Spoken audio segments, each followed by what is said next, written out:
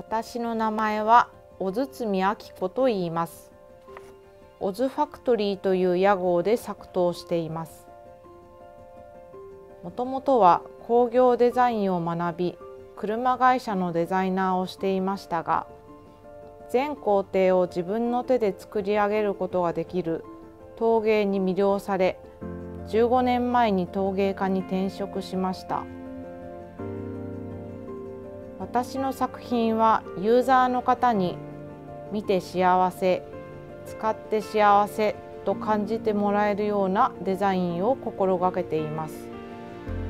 使いやすさや清潔感にも心がけています。笠間はとてもものづくりをするのに適した環境です。そんな笠間で心から楽しんで作った器を